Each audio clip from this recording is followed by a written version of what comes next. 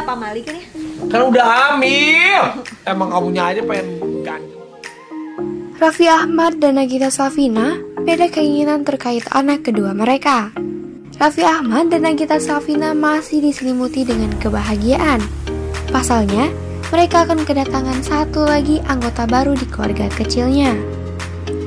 Nagita Slavina saat ini diketahui tengah mengandung buah hatinya yang kedua, calon adik untuk Rafathar Mahlik Ahmad. Di kehamilannya ini, rupanya membawa sedikit perubahan dan sikap Nagita Slavina. Malahan, beberapa di antaranya justru berbanding terbalik dengan saat Nagita Slavina hamil anak pertama dulu.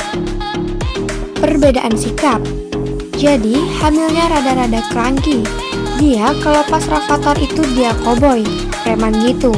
Kalau ini dia rada-rada cranky, lebih sensitif, lebih tidur terus, kata Raffi Ahmad di kawasan Peluit, Jakarta Utara belum lama ini.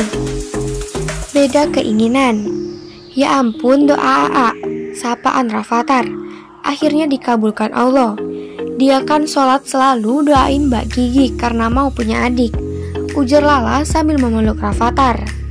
Adapun soal jenis kelamin, Raffi mengaku belum mengetahui lantaran janin dalam kandungan Gigi masih cukup muda, yaitu belum genap berusia 3 bulan.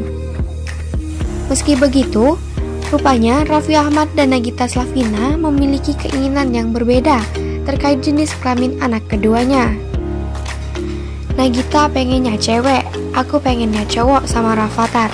Tapi kita mah mau cocok tapi kita mah mau cowok, mau cewek, alhamdulillah bersyukur. Jenis kelamin Dalam waktu dekat, Raffi dan Gigi berencana untuk kembali ke dokter kandungan guna menjalani pemeriksaan. Diharapkan, dalam pemeriksaan selanjutnya, ia sudah dapat mengetahui jenis kelamin buah hatinya itu.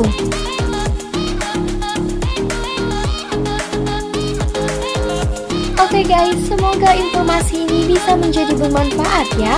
Terima kasih dan sampai jumpa. Bye bye bye.